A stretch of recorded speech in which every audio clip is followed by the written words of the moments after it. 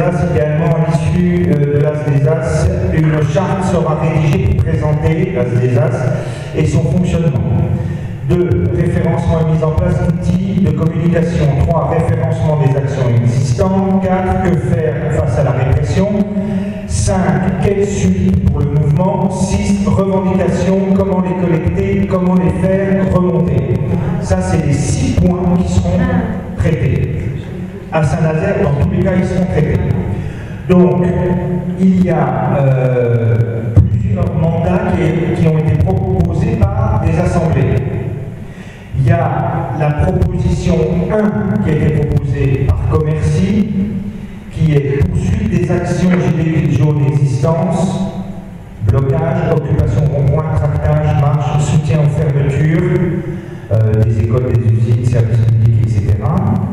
Euh, et développement du mouvement par la mise en place de maisons du peuple, de RIC locaux et la réappropriation des communes en se présentant aux élections municipales de 2020 via les assemblées municipales afin de créer un réseau de communes libres. Ah oui, les commercis, eux, c'est leur cheval de bataille. Commercis qui sont constitués en assemblée populaire depuis 4 mois ils ont, je vous l'ai dit la, dernière fois, ils ont déjà mis en place un, un local et eux, ils sont complètement pour la démocratie communale, municipale et pour la création d'assemblées municipales qui vont se substituer localement à toutes les décisions. Eux, ils sont pour développer ça à fond. C'est vrai que vous allez, vous allez rencontrer les délégués de commerce, vous allez pouvoir échanger là-dessus.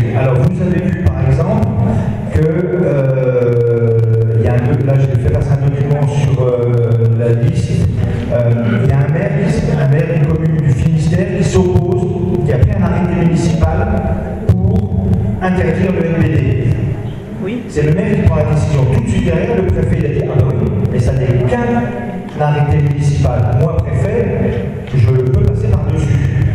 Et ça, il faut absolument empêcher ça. Et la démocratie communale, on l'a, c'est dans nos revendications. Donc j'apporte le débat, c'est se dire que c'est la démocratie communale qui doit reprendre le dessus sur le représentant du gouvernement, sur le gouvernement dont on veut. Donc euh, est très très en avance là-dessus, et eux c'est leur cheval de bataille, et ils vont proposer ça, ça Et ce sera débattu. Euh, en deux, il y a une proposition de Doyen dans le 03, un M allié, donc l'allié. Convocation d'états généraux sur le modèle de la Constitution jamais appliquée de 1793. Se présenter au municipal ou ne pas se présenter. Donc on vote. Donc qui est pour? Que l'Assemblée Gilets jaunes, l'Assemblée populaire et les Gilets jaunes en général, qui est pour que les Gilets jaunes se présentent et même des listes municipales ou municipales. Une, deux, trois, quatre, cinq, six,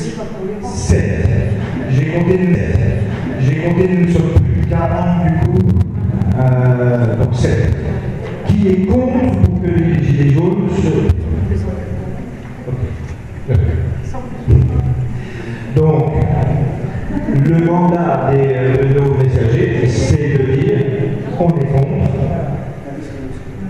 On est d'accord. Il y a une minorité, ça, a été débattu, c'est On est d'accord. Sur la question des RIC, donc des référendums d'initiative citoyenne locaux, ce que propose donc Commerce aussi. Ce qu'ils font, on a eu des exemples. Est-ce qu'on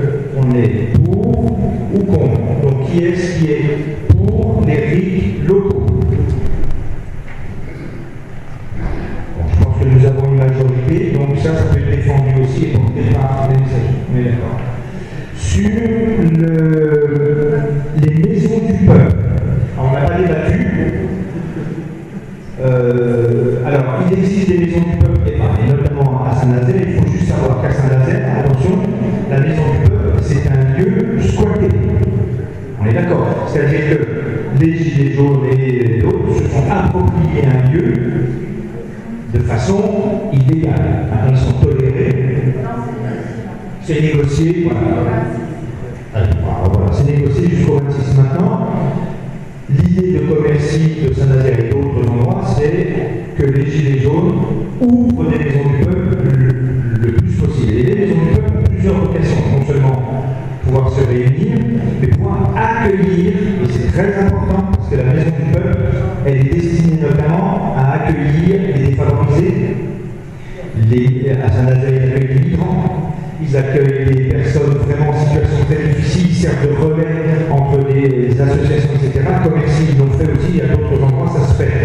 La maison du peuple, ça veut dire simplement que c'est.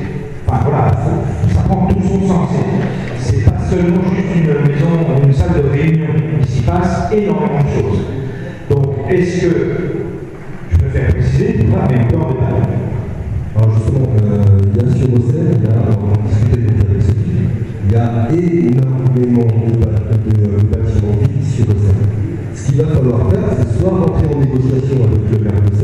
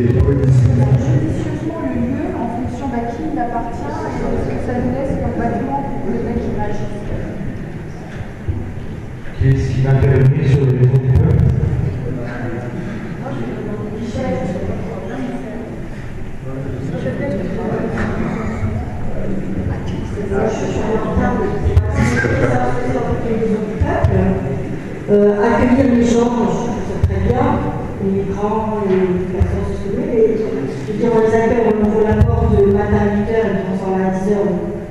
C'est quoi Voilà. Ça veut dire qu'il nous faire 24 24 avec euh, en général euh, un, un truc comme vous en haut, comme je peux voir un peu. Moi j'ai un pote qui squatte à la maison du peuple, donc euh, ils, ont des, ils ont des chambres, parce que c'est l'ancienne préfecture, c'est l'ancienne préfecture de Saint-Nazaire qui a été laissée à l'abandon, et donc ils ont décidé de se réapproprier suite à l'histoire des, Gilets jaunes, et qu'ils habitent depuis le mois de décembre. Ils ont négocié avec le, promoteur pour la mise en place de la Césas, parce qu'ils avaient besoin de casser des cloisons pour obtenir une pièce où on puisse tenir tous ensemble. Donc ils ont négocié avec le promoteur de pouvoir péter les cloisons et en échange, ils ont aussi, le, mec a demandé à ce qu'eux soient partis le 26 avril, que le 26 avril, lui va sans doute commencer ses travaux, j'imagine, et ils, étaient, ils sont d'accord là-dessus. Tout de suite après nous avoir reçus, eux, la priorité, va être de trouver un nouvel endroit pour faire une maison du peuple. Parce que là, d'aujourd'hui, dans les anciens bureaux, ils logent les personnes. Alors notre problème, c'est quoi On est accueillis ou on doit prendre aussi en, en charge toutes ces personnes qui sont là? Mais l'idée, c'est si on fait une maison du peuple comme Moi, je ferais bien une autoroute. Ah tiens,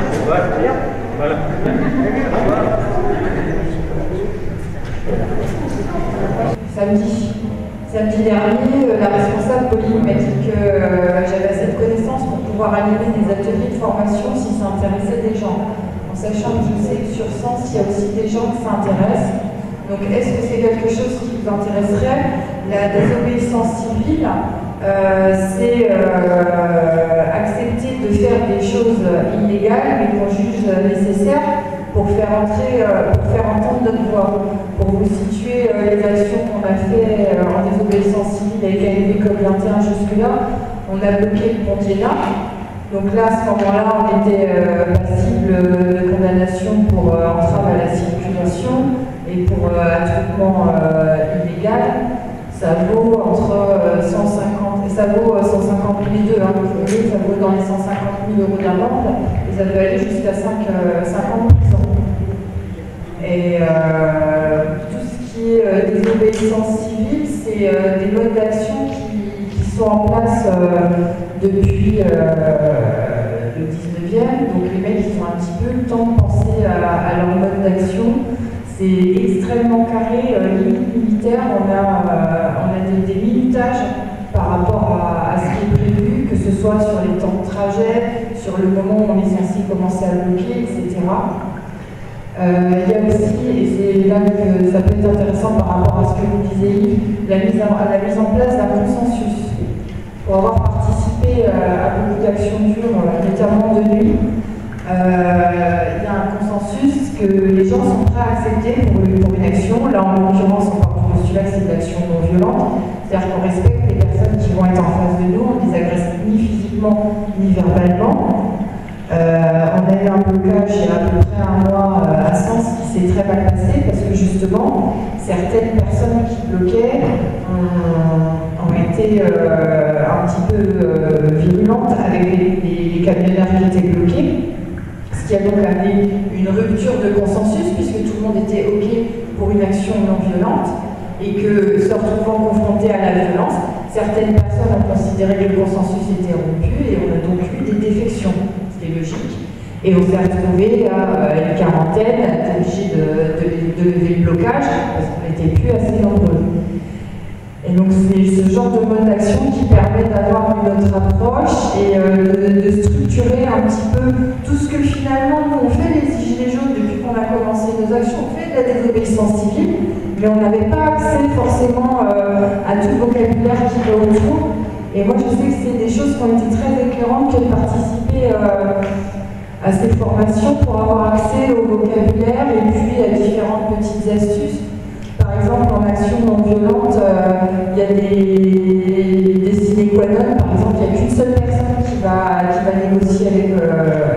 de l'ordre, et c'est toujours la même personne. Comme ça, ils n'ont qu'une seule version, et c'est plus simple de négocier avec eux. D'ailleurs, ça correspond à leur méthode, puisque eux, quand ils doivent traiter avec des preneurs de otages, ils ont un négociateur. Et donc, quand ils se retrouvent face à des gilets jaunes, une personne qui vient en contact avec eux, qui dialogue, qui explique ce qui se passe, qui pose des revendications, parce que ça, c'est hyper important. Euh, manifestement, pour les forces de l'ordre, quand on a des revendications, on est tout de suite beaucoup plus crédible que quand on fait Mais non, Du coup, ça aussi, ça permet de dialoguer. Et on gagne du temps, même s'ils ont décidé de nous, dégager, tout le temps que le négociateur est en train de négocier avec les forces de l'ordre, bah, tout ce temps-là, on bloque, hein, on va pas se mentir. Euh, ils font aussi euh, des choses que nous, on n'avait jamais mis en place, ils appellent ça des peacekeepers, ce qui est traduit par ange gardien, qui sont des personnes qui sont chargées de faire respecter le consensus au sein du groupe. C'est-à-dire que si une personne se met à avoir des propos violents ou virulents, le peacekeeper va venir et lui dire bah non, on est sur un consensus où on a dit qu'on n'agressait pas les gens. Si tu respectes pas le consensus, est-ce que tu veux bien t'en aller? Et qui sont aussi chargés d'expliquer euh, l'action aux personnes qui passent. Parce qu'il va y avoir, euh, euh, il y a trois semaines, le siège de la Société Générale à la Défense. Bon, mais forcément, il y a des gens qui sont arrivés au milieu de notre action. Donc les peacekeepers vont voir les gens qui arrivent, leur expliquent ce qui se passe pour poser des revendications, ou même pour ceux qui veulent nous rejoindre, leur donnent le consensus en leur disant on est dans un truc non violent, on fait de la chaîne humaine, on n'est pas dans le confrontatif, etc. Et je pense euh, sincèrement que c'est des actions qui, peuvent avoir de l'avenir pour euh, vous situer dans le collectif euh, de convergence avec lequel je fais des actions. On a fait une action la semaine dernière on a bloqué euh, une nurserie de Monsanto euh, toute la journée en empêchant les employés d'aller travailler et en appliquant stricto sensu euh, les modus operandi d'action non. Et pour le coup, bah, alors que ça faisait 15 jours qu'on se faisait torcher le cul et que si on met deux heures à blocage, c'était le bout du monde, là, on est arrivé à 7 heures, on est reparti à 15 heures, et c'est nous qui avons décidé de repartir à 15 heures parce que la bonne a à 17 heures, on s'est dit qu'à 15 heures, il ne ferait pas venir les employés. Donc voilà ce que, je souhaitais ajouter sur le côté action, parce que je pense que c'est quelque chose qui mérite un petit peu plus de visibilité. Et si ça vous intéresse, pour ceux qui, aimeraient euh, participer à ce genre de choses, on peut le mettre en place assez rapidement, parce qu'il y a une grosse action des obéissances civiles le 19 avril, qui s'appelle euh, Bloquons la République des pollueurs et on est appelé à participer massivement, mais les personnes qui souhaitent participer à cette euh, action sont encouragées à avoir suivi, suivi un stage avant pour connaître les méthodes euh, de blocage en chaîne humaine. C'est tout con, mais il faut l'avoir fait une fois pour ah, savoir Et là, je crois que samedi dernier, c'était un beau mouvement. Là, on n'a pas enlevé le mot, comme tu dis, on a, on a manifesté, on a bloqué.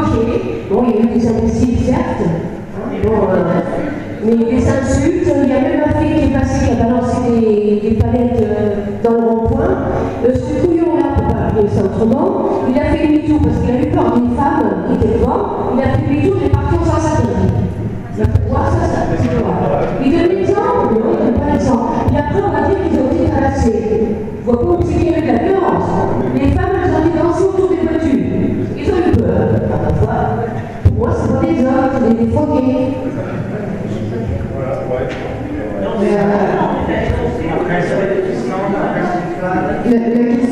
La question de cache-filage, elle revient partout. Hein. Même pour nous, sur les actions nuit, quand on va sur un.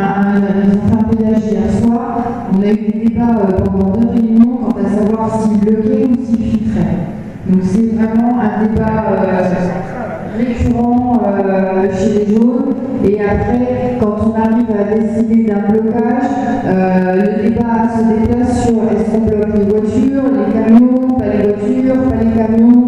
C'est vraiment le truc redondant. Et je ne pense pas que ce soit quelque chose qui puisse se décider arbitrairement d'une manière arbitraire. Je pense que savoir si on bloque ou si on filtre, ça peut, c'est quand même vraiment en fonction de l'objectif. Si c'est une entreprise de bloquer que de filtrer. Si c'est un péage, c'est peut-être plus pertinent de filtrer les voitures et de bloquer les camions. Et sur un, et sur un rond-point, il est peut-être plus pertinent de se vendre. Ah oui, je pense pas que c'est un truc qu'on puisse comme ça décider arbitrairement de se dire bah, nous, à Océan, on va plus bloquer. Je pense que c'est vraiment en fonction des cibles et des objectifs que ça, que ça décider. Sans aucune.